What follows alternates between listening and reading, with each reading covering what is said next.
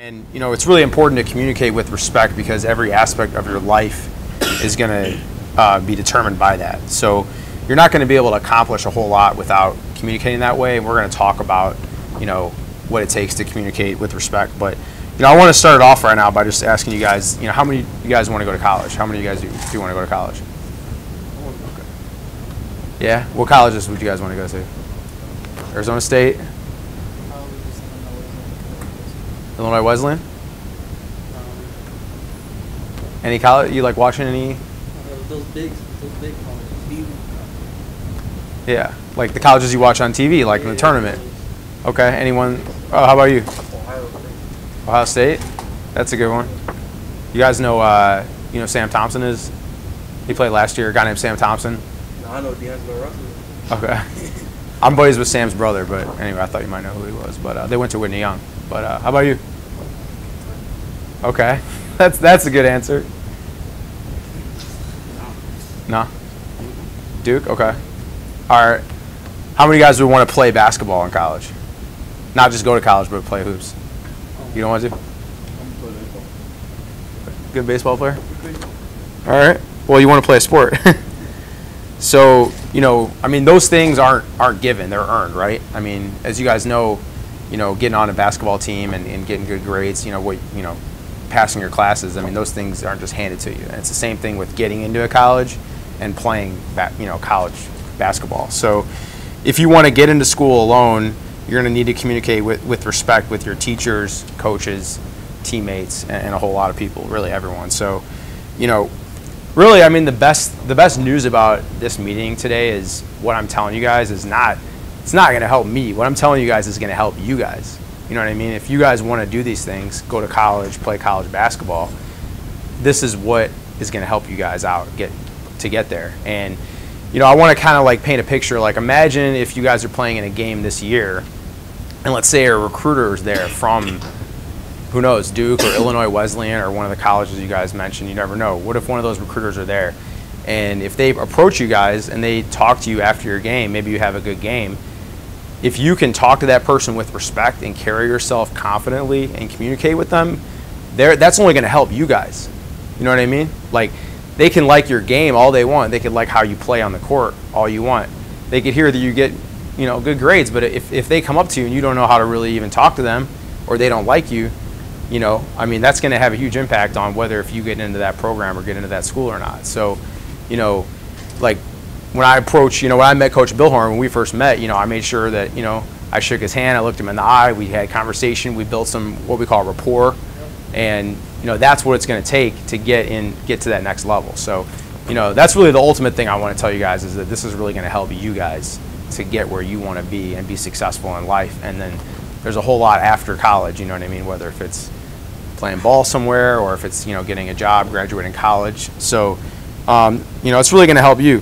And um, you know, I actually do some assistant coaching at Harper College. You guys ever heard of Harper College? It's a junior college out in uh, Palatine, and um, there's actually one kid. His name's Marcus. He went to um, he went to Curie. He played for the team that won the city championship. He played with um, Cliff Alexander. You guys know who he is? Yeah, He played for Kansas last year. yeah, and we know, uh, we know the Stamp brothers too. Okay. Jeremiah, uh, uh, Josh and, um, Joe. Okay. And then the little brother Jeremiah played with us, uh, down at Illinois Wesleyan a couple weeks ago.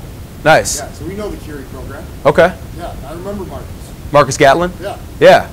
So Marcus, I think I don't think he even started for that team. I think he might have been like sixth or seventh man, Yeah. um, backup point guard. But anyway, This is the pizza, or else I wouldn't so Marcus is he's a good ball player. I mean, he, he's a point guard. He's a solid player, but he's not like I would even tell him to his face like he's not like the best player in the world. He's definitely good, but this kid shows up early. He stays late. He gets good grades. Every time that the coaches interact with him, or any fans, or any like maybe other parents or teachers, really the athletic director. I mean, anyone that he communicates with, he shakes their hand. He's like, "Hi, how's it going?" You know, he smiles. He carries himself well, and he's probably. I mean, I don't know for sure. I don't want to speak too soon because he's going to be a sophomore this year, which is it's a two-year program. but he's probably going to get a full scholarship to a D2 school, Division two college, and get a free scout, free college and play basketball. Um, he's a good player, don't get me wrong, but the coaches always tell me that they like his attitude, they like the way he carries himself, they like that, that he's a leader, and that the other guys on the team can kind of look to him when they need something. Um, and you know, not just him, but the other guys that are coming in this year, the incoming freshmen. I was talking to the coaches, and they were saying, "Oh yeah, t- tell me about a couple different guys," and they were like, "Yeah, he's got a great attitude." you know, we like this kid. He's probably going to, you know, work out for our program. You know, not not that way as much for the other guys. You know, the guys that don't have the good attitude, they'll, he'll say, man, that guy's, he's got game. He's good on the court, but I don't know if we want to really, you know, I don't know if we can count on him. I don't know if he's got a good attitude and, and stuff like that. So, really, it's kind of like almost thinking of yourself as like a brand, thinking of yourself as like a product. Like the way that you represent yourself at all times is going to reflect, you know, what you put out there. And, you know, it's not just really about you guys. That's the other thing that I want to re- remind you of is, you know, every move that you make and every, every interaction that you have with people is a reflection not just of you guys, but it's a reflection of, you know, your parents, your family members, your friends, you know, who you hang around with, and Coach Billhorn. You know what I mean? He's a guy that really, really cares about you guys, and he's told me on many occasions that he really wants to see all you guys succeed, and he's really passionate about it. And you know, he doesn't have to be doing this. I mean, he does this because he really loves it, and he wants, you know, he really is passionate about it. Same with Vic. You know, I talk to Vic all the time, and he really cares for you guys and wants to see all you guys make it. You know what I mean? So, um, it's not just really, you know, a reflection of you, but it's a reflection of your family or who you're brought up with and, and all that. So, um, just kind of want to remind you guys of that as well. So, um, any questions so far? Or? All right. Does that kind of make sense? Okay, cool. So we're going to talk a little bit. I wanted to pull it up on a computer. Uh, I might wait for, for Coach Billhorn, but basically we're going to talk about kind of like what, what, like what we think it would take, like what it takes to really communicate with respect and communicate that way. A um, couple examples, and I know in a little bit we're going to break up into small groups and have you guys work on something. Um, but again, this is something that's really going to help you guys, and and uh, like you said, you guys all want to, you know, play college ball and get into college and stuff. So, you know, and then not to mention when you get a job one day or you know whatever you do after college, this is definitely going to be good, good help for you guys. So, um, have you guys seen any like recruiters or um, interacted with anyone like from like in like last year? Any any stories or anything? Yeah.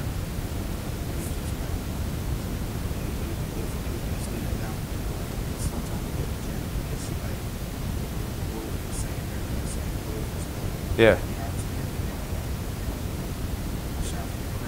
Yeah. Oh. Like with their like their personality or Yeah.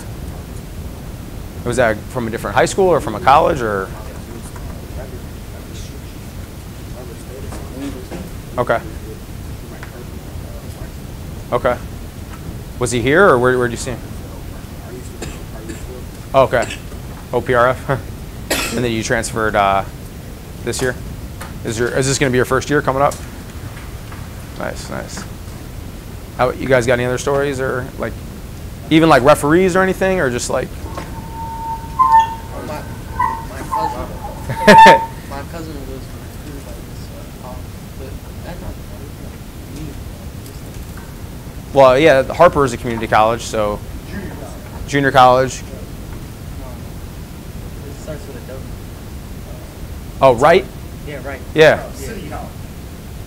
That's one of the city colleges. right. Yeah. Right. You, you got recruited that.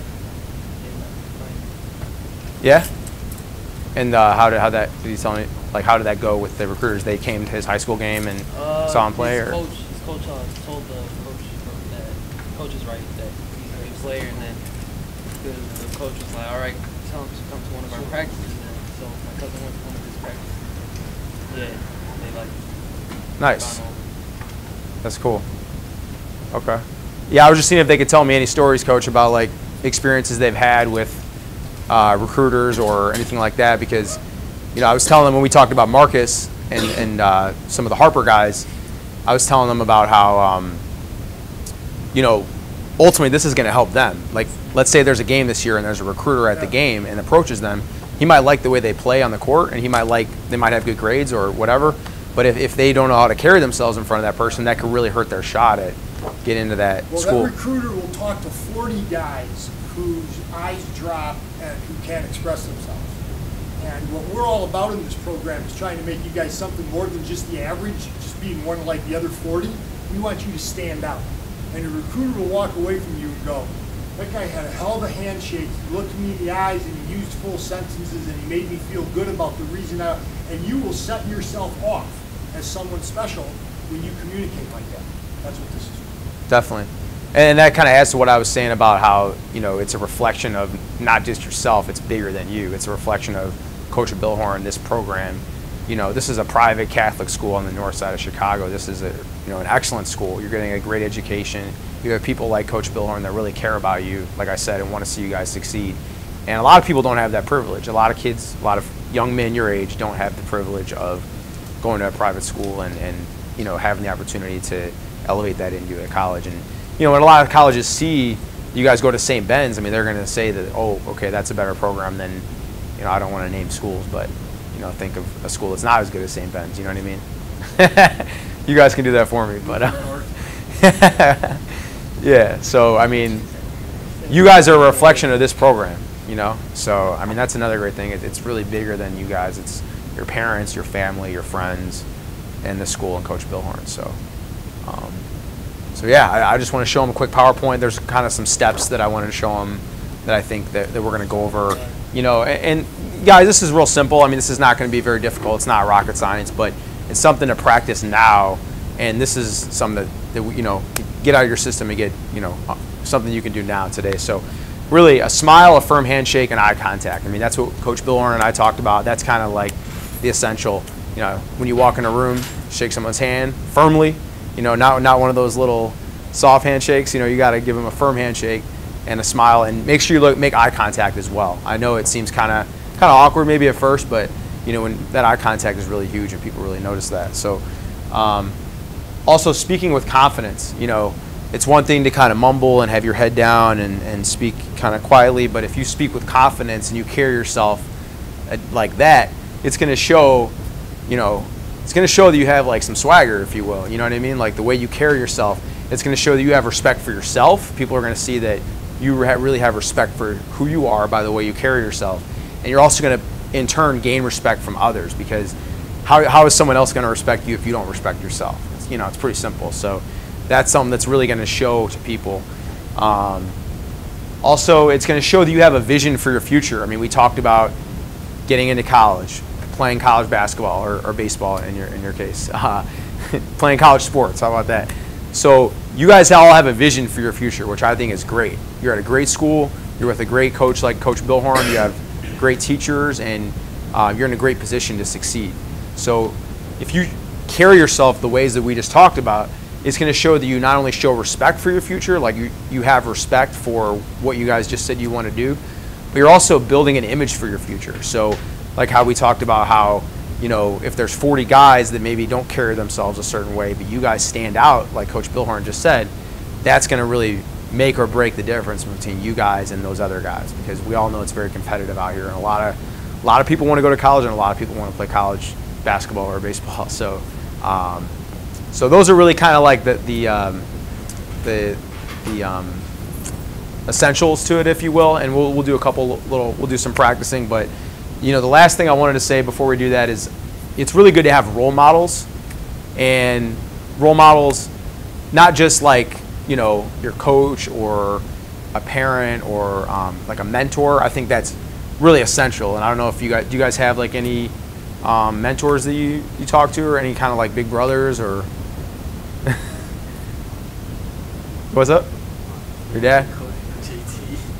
Who are they Uh, they were the, uh, they played on our basketball team as an athlete, but he's just my every game. Yeah where at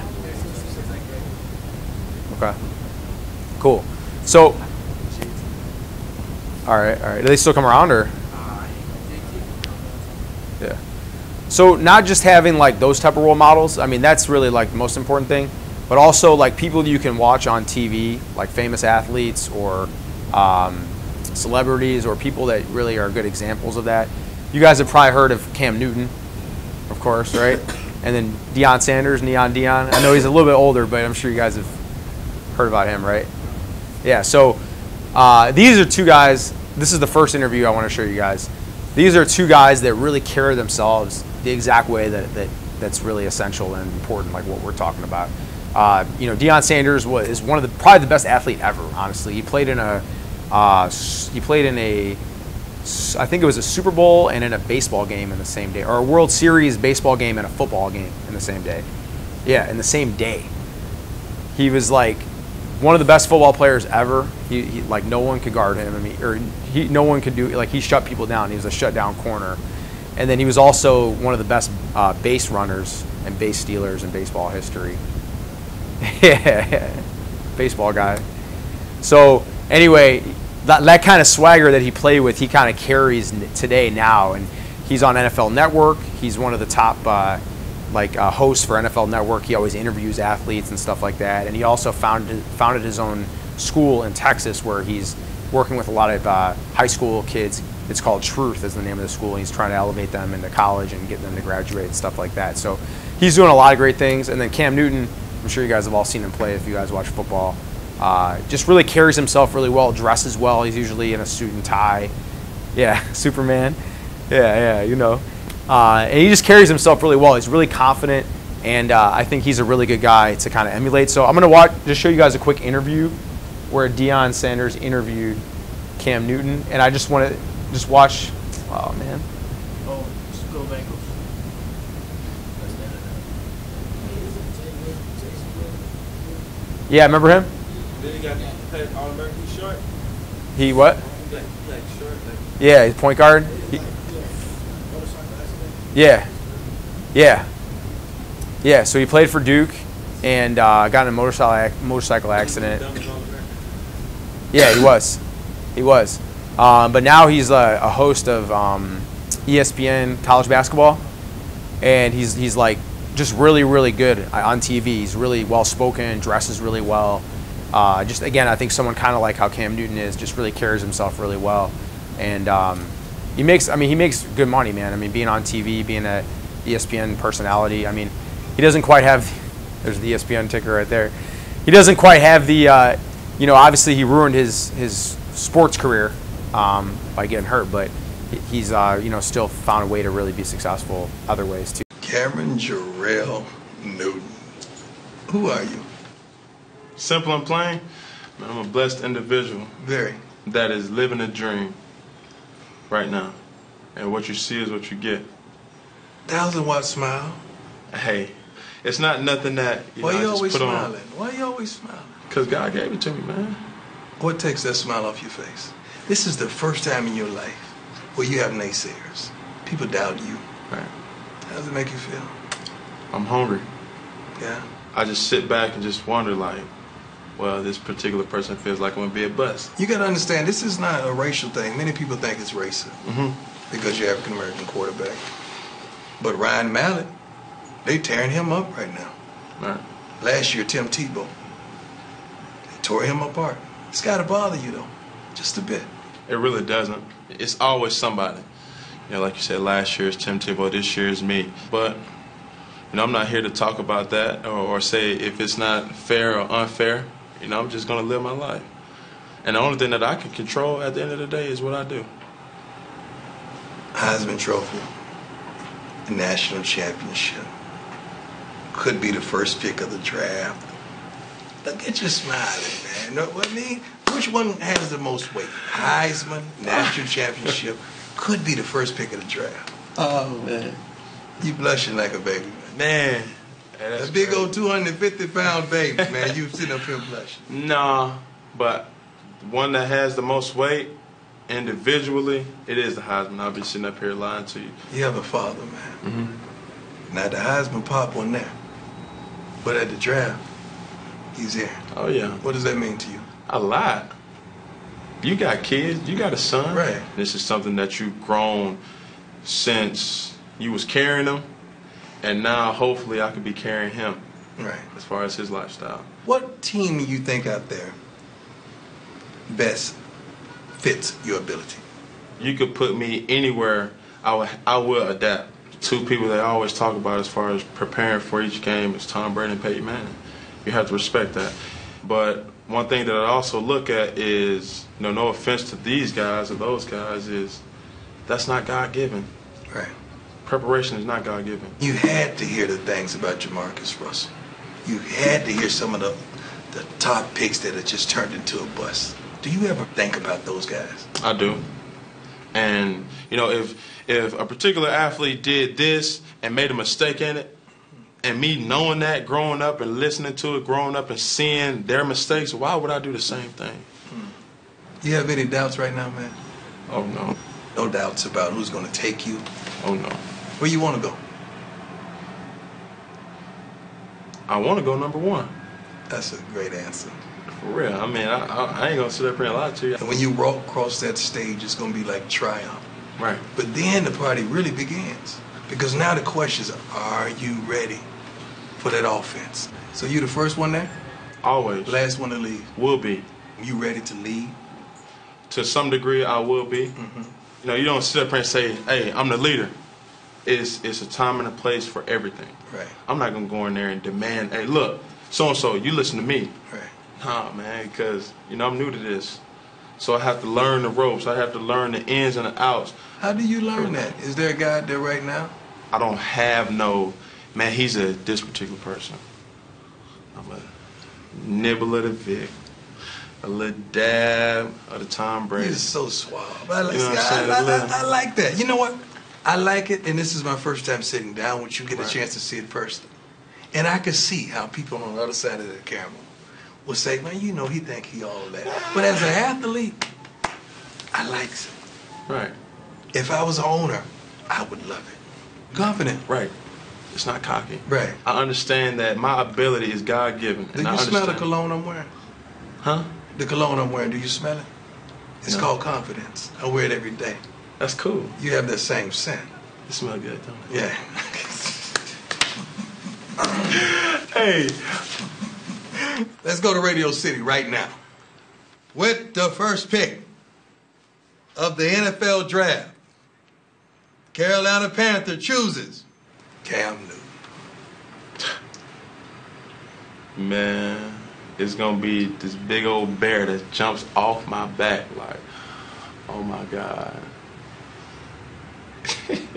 oh my god, like it's here, man. Cause I want to be the best, man. No matter where you go, look in that camera and tell them what they're going to get.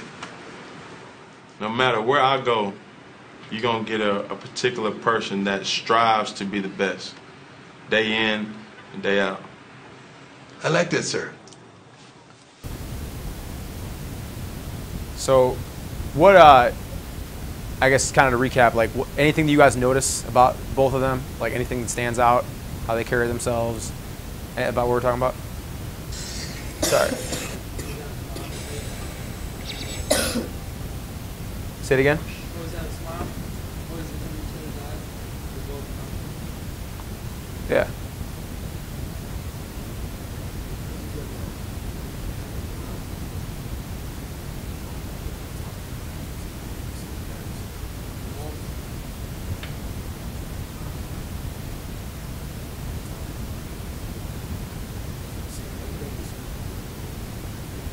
Yeah.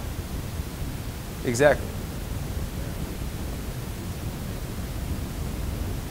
Exactly. Anything else? or- The eye contact. Right. Two guys are talking to each other and they have, they're locked in each other's eyes. Right. Exactly. Exactly. I mean, everything you guys said is 100% right. The way that they made eye contact, their smile, their confidence. I mean, the confidence really stands out, right? I mean, you can see these guys are, you know, very confident individuals. They're not nervous to be on TV. They're not nervous. Cam Newton's not nervous in front of one of the greatest athletes of all time. You know, by Deion is really taking control of the opportunity to, to, to run to do the interview. So, you know what I mean? That that's really what we want from you guys. We want to get you guys to the point where you can be speaking that just like them in front of a recruiter, in front of your teacher, and it's not just recruiters, but your teachers, uh, anyone in the school, you know, Coach Billhorn, teammates, referees, right? I mean, we want these guys to be communicating that way at all times. And you know, don't conf- don't confuse confidence with cockiness. I mean, there's definitely a fine line between the two. You can be really confident. You know, I think Deion Deion Sanders does a great job of that on TV. He's very confident, but it's he still has kind of a way about him that's still, you know, you know, he's a little bit humble still too. So there's kind of a fine line between all that, and that's really what we want. And if you also notice that Cam Newton did say he's going to be the first guy there and the last guy to leave, and, and that's what I was telling you guys about uh, Marcus, who's hopefully going to get that scholarship, and, and he's had a had a great run at Harper so far. You know that stuff really stands out. If you're the first guy in, the last guy out, that's really helpful too. So, um, yeah, glad you guys noticed that. There's one more I want to show you just for like, uh, it's like a two or three minute clip. That's the Jay Williams one. I know that um, you guys were familiar with him. And this is a good interview. He's interviewed by Oprah. Uh, I'm sure you guys are familiar with her. She's one of the most, you know, richest, yeah, known and wealthiest people I think she's from Chicago.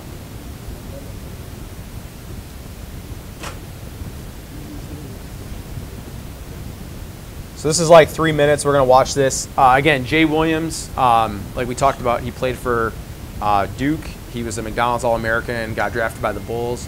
Did have a big car accident um, where he basically got injured and ruined his career. But he's made a really, really good career out of being a ESPN analyst for college basketball and he really carries himself well. Really great communicator, dresses well, and I think he's another role model that you guys can kind of um, follow as well.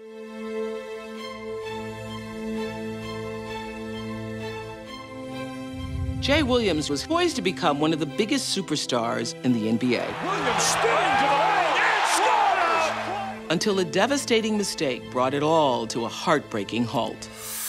Police believe he lost control of the bike, crashing into a telephone pole. Jay says he spent the last decade on a journey to both forgive himself and reclaim his purpose. He is now a respected commentator with ESPN. First of all, do you have a ritual on Sunday mornings? I do. I do. I uh, I go to this church that is fantastic. Actually, uh, it's led by a guy named Carl Lentz. It's mm-hmm. called Hillsong United. Oh, in, in New York? In New York oh, City. Oh, yeah, yeah, yeah. And it is one of the most gratifying things. So I wake up every morning, I meditate for about 30 minutes. You do? On Sunday mornings, yes, I do. I find some time to, well, if I can't sit with myself, who can? And uh, just reflecting upon where I want to be, uh, who I am, and positive thoughts. And I go to church and I, I pray for everybody but myself. Really? Yeah, I mean, my thing is, the more I, the more energy I put into the people I love, my life will be happy. What motivates and inspires you now? The people I love mm. on a daily basis, making my mother proud, making my father proud, making my friends proud, and be able to, to do good for others and to do more. What's the lesson that's taken you the longest to learn? The lesson that has taken me the longest to learn? Hmm. It would probably be that life isn't an accident that's the lesson is that regardless of whatever form of adversity you go through, you're going through it for a reason. And as long as you don't let that adversity define you and you look at it and you grow from it, then we're extremely lucky to do so. Uh, favorite music on your iPod? Miles Davis. I'm a throwback kind of guy. Wow. I like Miles Davis. I like blues. I like Jimi Hendrix. Best book you read lately? Best book I read lately? Um, Purpose Driven Life. I read it again, actually. Really? Yeah, I love that book. Great book. Thank you again. Thank you so much for having me. I'm real throwback. I am still listening to Tina Turner, honey. Oh, I love it. I'm real throwback. When I really want to like light up the room, it's me and Tina. I am very throwback. But Miles, that's way throwback. That's great. Thank, Thank you. You were wonderful. So anything there similar or different to what we watched before? Anything you guys noticed or?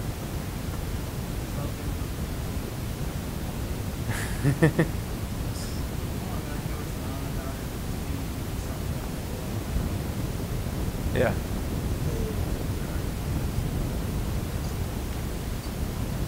Yeah. For sure. Anything else?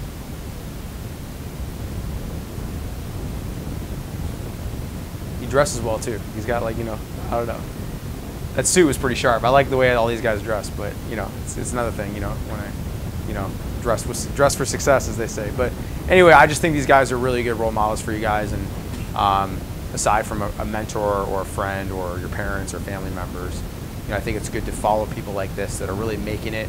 Um, you know, again, Deion Sanders and Jay Williams are both television personalities. They're on TV every day, and you know, those are people to look up to because they're constantly in front of people, constantly presenting themselves well, and um, you know, I, I, just think it's good to kind of follow that as well. So, um, yeah, so have some role models with that, and you know, that kind of concludes a lot of what we were going to talk about in terms of the uh, the talk for now.